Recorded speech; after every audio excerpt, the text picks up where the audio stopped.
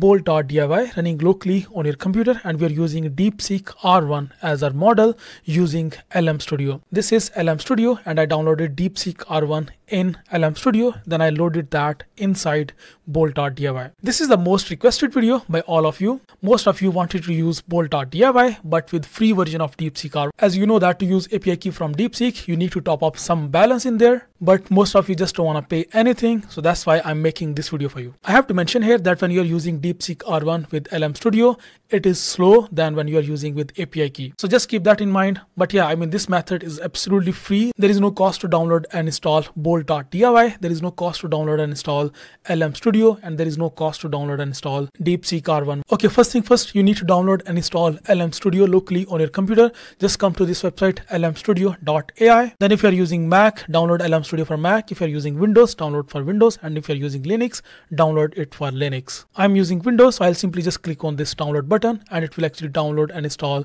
LM Studio for me. Once you have installed LM Studio on your computer, in your search bar, just look for LM Studio and click on open and this is how it will actually open. In here, just click on this discover button and you will find all of these various different large language models available for absolutely free to download. There are currently two versions of DeepSeek R1 available to download. Both of these are small models. One is model with 7 billion parameters, another one is with 8 billion parameters. You can download any of these. I have downloaded both. By default, it will set installation directory of these models. Right now, my directory is my C drive. If there is enough space in your C drive, that's great. If you don't have enough space, just make sure that you choose a drive that has enough space. Each of these models are around 5 GB, so make sure that you have enough space in your C drive. Once you have downloaded any of these models, just go to this developer tab then select a model from here let's suppose i'm gonna use deepseek r1 distilled llama 8b just click on this and it will load your model like this.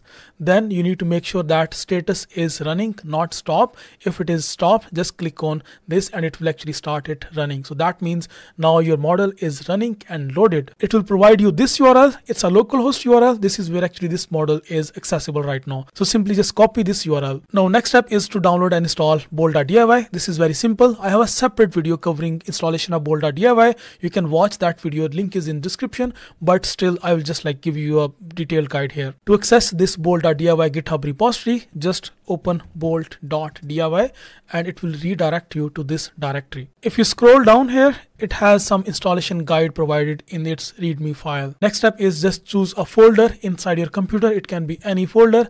Right click on that open terminal and then it will actually open your folder right inside your terminal. Then enter that command here git clone and then add url of this of your repository you can find this command in here in readme file of this bolt.diy repository. Once you run this command, then just run this command. It will actually open the main folder of bolt.diy where it is installed. And then after that, just run this command and then run this one and then run this command.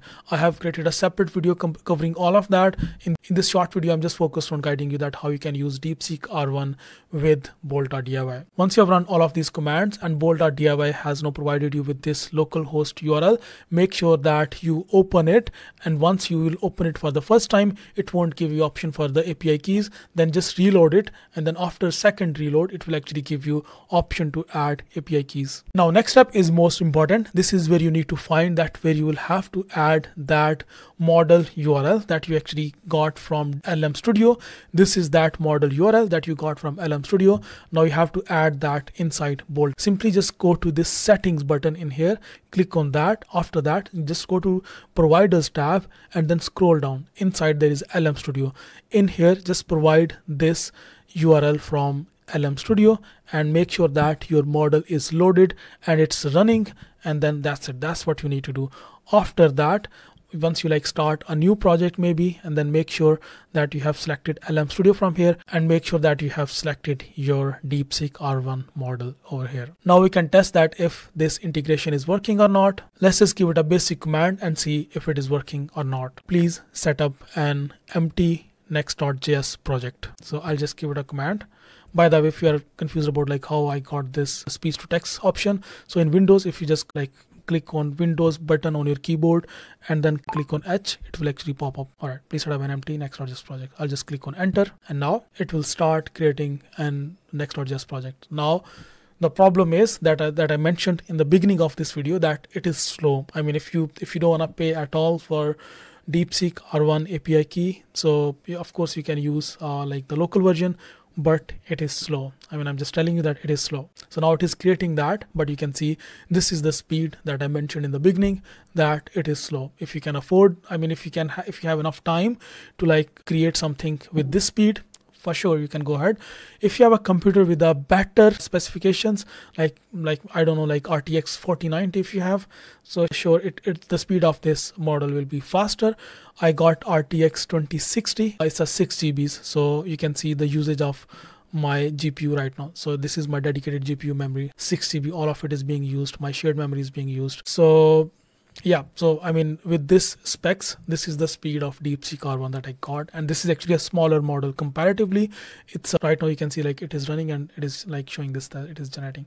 And this is a smaller model. It's a 7 billion parameter but this is good enough. Like model once it once it writes that code uh, writes like good code but the only problem is it is slow. So yeah this was much requested video. I really hope that now you know that how you can use deepseek r1 with Bolt.diy if you have any further questions please leave a comment and if you like this video please don't forget to subscribe this youtube channel. Our goal is to reach 100000 subscribers before 30th of june 2020